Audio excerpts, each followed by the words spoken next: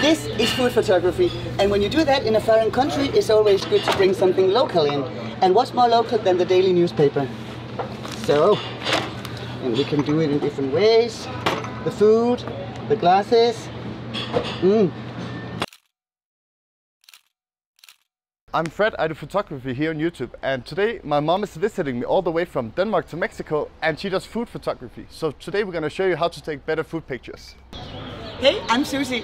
When you're out doing food photography uh, on the street or in a restaurant, you have no control out uh, how the dish look and uh, the table and the background. I'll give you some tips in how to take control and get the best out of uh, what you have to work with. Alright, now we will go and get breakfast. And the idea in this video is I'm gonna take you through every meal we get from breakfast to lunch all the way to dinner. I hope you enjoy it. And a good night.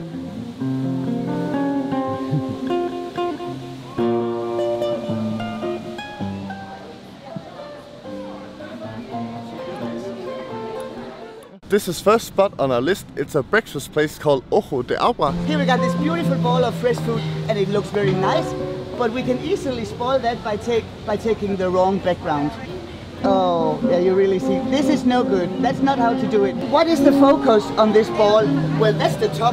It's not the size of it. That's not focus. Then we'll do like this and see, and we'll take this phone away. Some of the focus should be in this corner. Sometimes it takes a little while to get it right. So these eggs over there might be cold. You see, we got this space here where there's nothing, but that could be okay. And if you take the ball, yes, in, in your lap.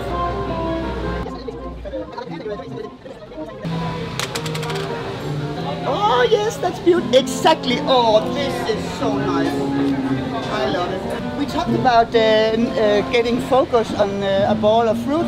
You do it from the from the top, but in this case, you can actually take it for like 90 degrees because we do like like eating. And this is too dominated, so I'll just turn it a little bit around. And I like the yellow stuff with it like this. Then this one uh, is going into, so I'll just move this one a little bit like that.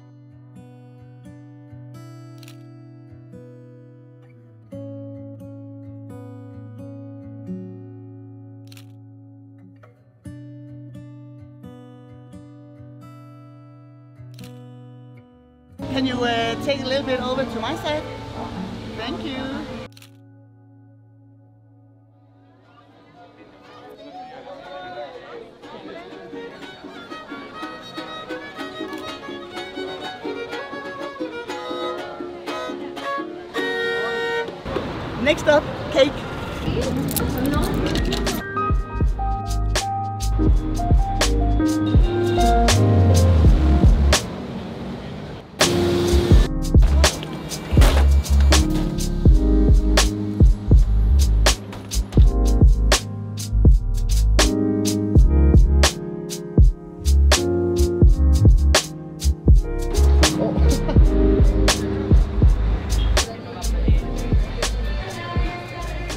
What cake are we going for? You know what? I would actually like this one, but you cannot put this one on Instagram. so I need this one. Yes. That's the cake we're going for.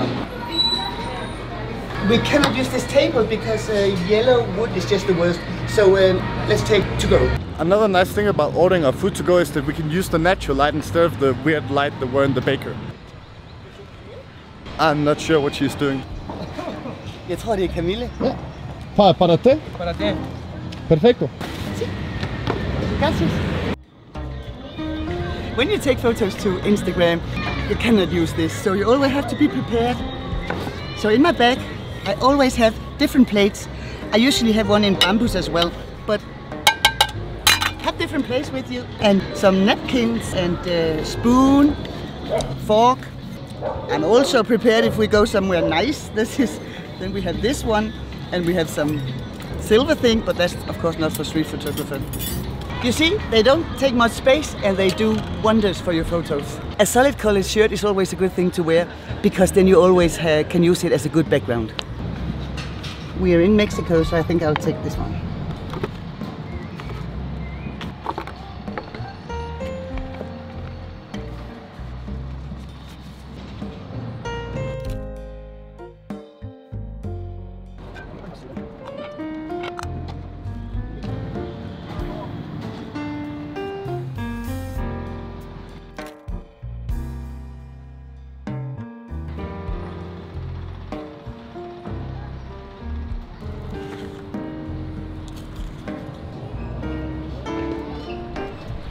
This is why we never get warm food at home. You didn't say that. Okay, I have a question, Mom. What are typical mistakes that you see people make when they post photos of their food? if I pick one, the worst, the absolutely worst thing is that when uh, when the lines not are straight, Yeah. I call it that. If you have a horizon and it's tipping, like here, if you want to take a picture of me and the building, and uh, and this one have to be straight, Yeah. and it's so easy. The iPhone does it almost by itself. Are, so. are there anything else people do wrong that you think? When you do food photography, it's important that you keep the color cold, not too warm, not too yellow. So you go in the editing and you take a bit more blue on, because otherwise it gets too yellow. The important thing in food photography, I think, is to stay focused on who has the, the lead role. And, and stay focused on that one. We have a tendency to uh, want, want it all on the photo, but then we end up with actually having nothing. As a tourist, I would definitely take a picture of the taco stand in Mexico. But as a food photographer, I would go much closer and I'll try to get the atmosphere, the steam, and so you can almost smell it and you can you can hear it and you can taste the food. Before I ordered these tacos, I asked the taco guy if we can get two tacos with extra steam because that's what makes the photo.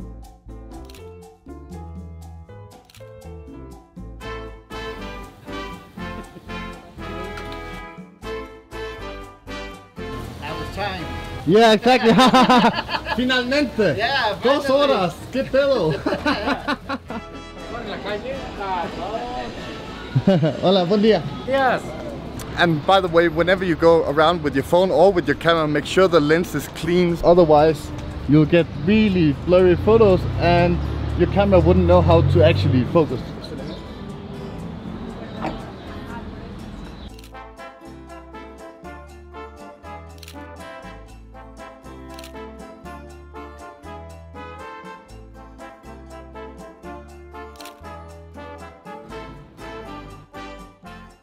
Now we're in an ice cream shop, one of the oldest here in Mexico City. And we want to go here and photograph some ice cream and show the importance of a great photo background. And it's not only in food styling you need a great background. In the street photography I do, I think the thing that has ruined most photos for me has been a messy background. My mom is a food stylist and a cookbook author, and when she wanted to take the pictures for her cookbook, she didn't have the photo background she needed. So she went to her atelier and painted her own photo backgrounds. After painting these photo backgrounds on a big canvas, my mom made a printed collection of the photo backgrounds that are much easier to travel with and work with, and those are the ones we're using right here. Ja. What to do? Jesus. Mm. This is for you. meget ret fin. All right. Ready?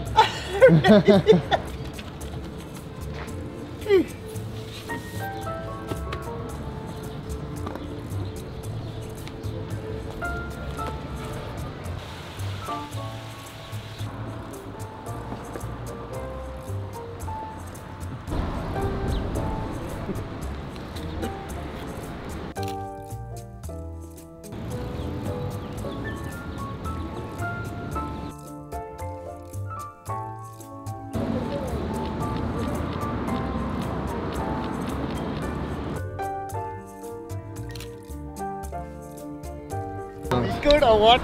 That took a lot longer time than we expected. Look at this brown apple. Yeah, it turned different color.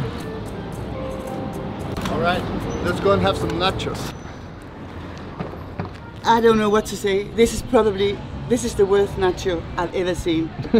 I wanted to order nachos so you can see how difficult nacho uh, is because it's so easy to take uh, food photographer pictures when it's blueberry and strawberry, but nacho are difficult. But this challenge here is like, oh my goodness! I don't even know if I can do that. You can't because the. I mean, th- th- this is this is just not. I'm not sure what we should do right here. The idea here was that we take this, we, we photograph this from the top, from the side, and then we had this good photo where we can like drag the cheese up. Actually, This is like, there's no way you can do make this interesting. This video will never end.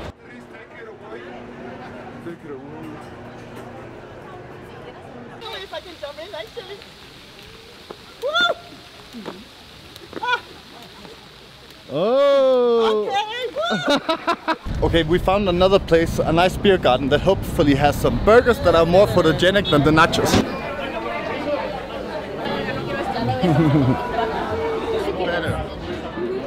Okay, here is a burger. And now it's the opposite of the breakfast, where we had this ball with all the fruit that we took from, from the top and down. Now we're gonna make it to the side, but that takes a little work.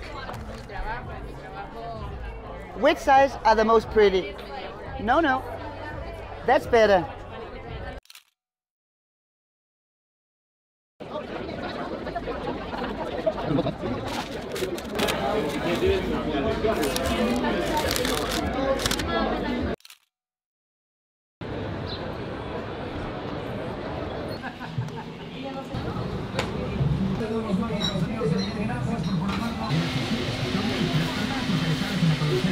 Gracias. Gracias. They were nice. They were so nice.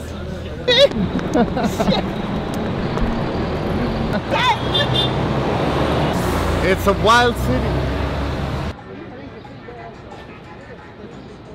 All right, now we're at a we're in downtown in Mexico City at this nice restaurant. They make Asian cuisine, and yeah, whoa! and this is where we're gonna eat. Gracias, amigo.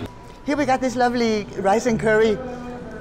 But if we want to take a good photo, I mean, uh, it doesn't work with yellow food on a yellow table. It all melts together. So we need to have some contrast.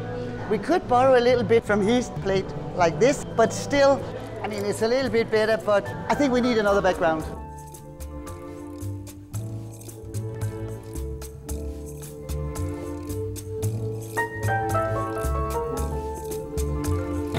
Instead of this one, we got our own.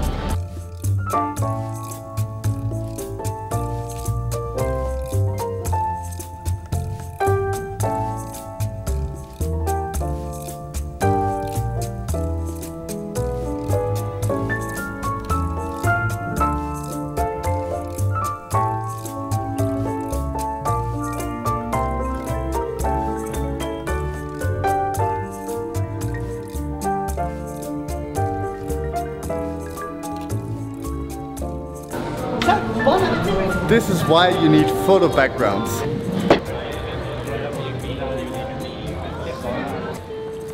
Buenas noches. Buenas noches.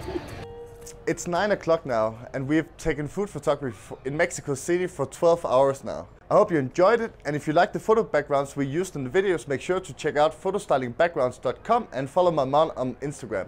Is there anything that we need to make sure to have said before we end the video? Actually, there is one thing. We had been very focused on the food, but uh, I also like uh, pictures of uh, the atmosphere, and uh, that we haven't got.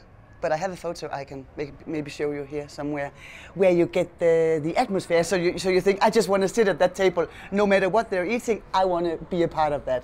Alright guys, make sure to subscribe, like and all of these things. Until next week.